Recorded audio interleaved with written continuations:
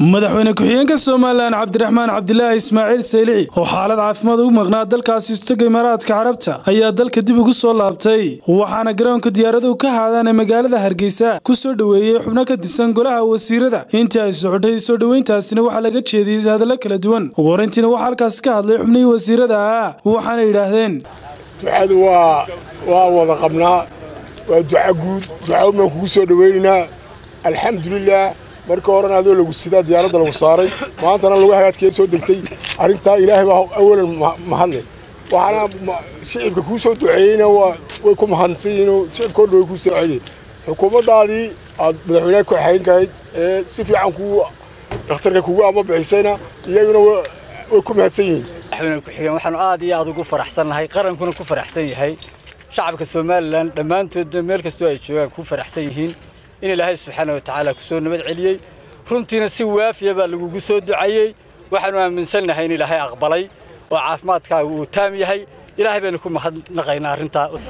ku soo dhow hor dalkii hooyo waxaan ilaahay ka baryayaa xanuunkaa ku gaadhiyo dhibaatadaa ku gaadhiyo inuu yahay dembigaaga. Kuugu dembi dhaafo. Sida diintu sheegteen ilahay maanta farxad weyn u tahay jumhuuriyadda somalilan guud ahaan oo gobol kasta lagu faraxsan yahay. Madaxweyne ku-xigeenkii oo soo noqday isagoo nabada kuna soo noqday dalkiisii aad iyo aad baan madaxweyne ku soo dhaweynay madaxweyne ku-xigeenkii oo soo nolo noqday oo caafimaad qaba waxaanan rajaynaynaa ummaddaadii saakoo dhan halkan way kuu joogtay farxad iyo iyo caafimaad. Intaa ka sii badanna ku soo dhowow. Dhinaciisa isaguna waxaa halkaas ka hadlay madaxweyne ku-xigeenka somalilan oo ka warbixiyey xaaladiisa caafimaad isagoo sidoo kale ka hadlay arrimo kala duwan waxaanuu yidhi ilaahay baa horta mahad leh. Alxamdulilah waxaan horta ku faraxsanahay inaan dalkii hooyo anigoo nabada ku soo noqday oo dhaawacii fududaa i soo gaadhay. Runtii dawo fiican iyo caafimaad fiican ku soo helay. Mahadda ilaahay ka sokow waxaa labaadna leh xukuumaddayda iyo madaxweynaha jamhuuriyadda somaliland axmed maxamed maxamed silaanyo waxaa ka saddexaad leh dalka aynu walaalanahay ee imaaraadka ah gaar ahaan xukuumadda abudabey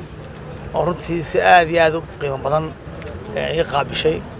dhakhtarkaygii ilaa iyo maarata intaa muddadii aan dusha joogayba si wanaagsan runtii aad u qiimo badan ii qaabishay aad iyo aad baan igu mahadnaqaynaa taasina waxay ka mid tahay xidhiidhada wanaagsan maanta aynu wada leenahay maarata dowladaha walaalihina maarata islaamka ama carabta ah aad iyo aad baan iyagana ugu mahadnaqayaa sida wanaagsan ee sharafta iyo karaamada ahayd ee noo soo noo dhoweeyeen ee ilaa dhakhtarka ilaa iyo maarata wixii horan u baahnaaba runtii ay soo fuliyeen waxaa kaloo aad ugu mahadnaqayaa dhammaan ummadda reer somaliland meela joogtaba ducadii iyo maarata karaamada runtii dabahoodeen meel walba ka soo hadlayeen ee ka soo ducaynayeen meel walba ka soo ducaynayeen iga aad iyo aad baan ugu mahadnaqayaa waxaan ilaahay uga baryayaa maanta in ilaahay ka dulqaado dhibaatada abaaraha oo maanta ilaahay raxmaad degdega gaar ahaan gobollada bariga maanta ee ilaa maanta roobkiisa kor loo egayo waxaan ilaahay uga baryayaa ilaahay degdeg raxmaad degdega naga soo furto abaartaasi ilaahay uga baryayaa runtiina muddada saddex cisho u dambeysay afar cisho dubay joognay dee aanoo haddana xanuun ka kacay dhaawacii haddana hawl baan ku jirnay waxaan maraynay dhammaan hay-adihii khayriga ahaa aad oon u gudbinay xaaladda dalka ka jirta shalay u dambaysad shaqadaan bilowno sideedii subaxnimo tobankii habeenimo naga dhammaatay raasal khaymad dalka barigiisa ah mandaqadda ugu bariyaysa ayaan tegnay abudabaan dubay baan maarata laba hay-ado khayra marnay dhan hawshii kale aan ka wadnay maarata dekadda ee socotay sidii maarata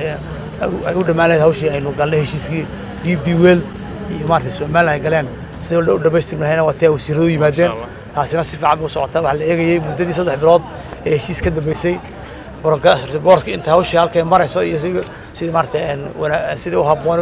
wareejintu u dhici lahayd. Taasina waxaan u bishaaray nabadda reer somaliland in hawshaasi si guulo u socoto oo shaqadaasi maarata sidii lagu heshiiyey ay u socoto. Ismaan axmed ismaan star t v hargeysa